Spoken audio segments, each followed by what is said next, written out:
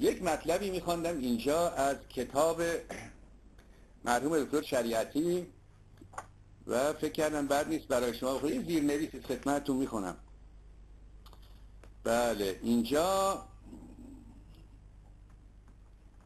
صحبت از یک آخوندی می‌کند یک شخصی می‌کند که رفته است و ارز کنم که چا میکنده و بعد این چا خورده است به یک قنات بعد آمده است و هر شود که آخوند اونجا بوده گفته مال امام زمان هست دیدیم براتون بخونم.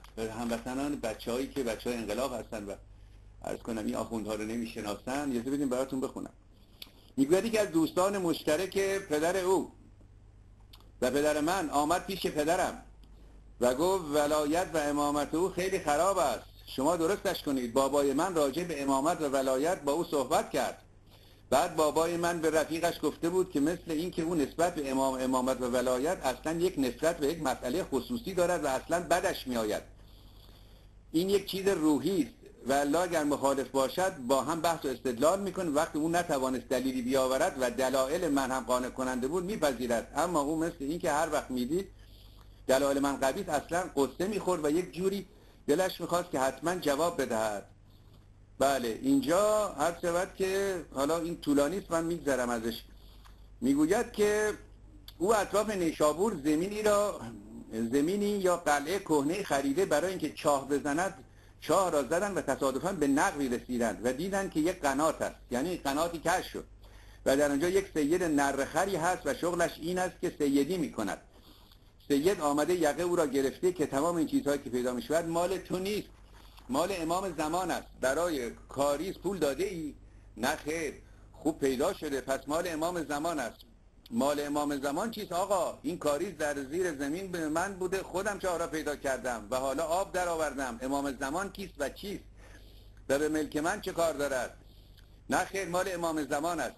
برو بابا دنبال کارت هر چه سید این ور اونور می‌زند که او چیزی بدهد به لج نمی‌دهد. سید میاد مشهد و میره پیش آیت الله اردبیلی و می‌گوید چاه پیدا شده که صاحبش اینطوری است.